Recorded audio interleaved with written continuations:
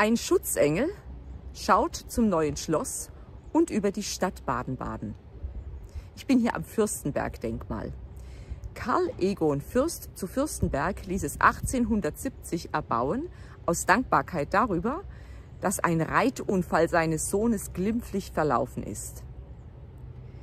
Was würde besser an diesen Ort passen, als das Weihnachtslied Engel auf den Feldern singen?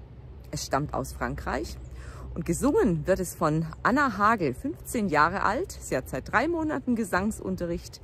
Sie singt es allerdings in der Fassung Hört der Engel helle Lieder, die wir aus dem evangelischen Kirchengesangbuch kennen.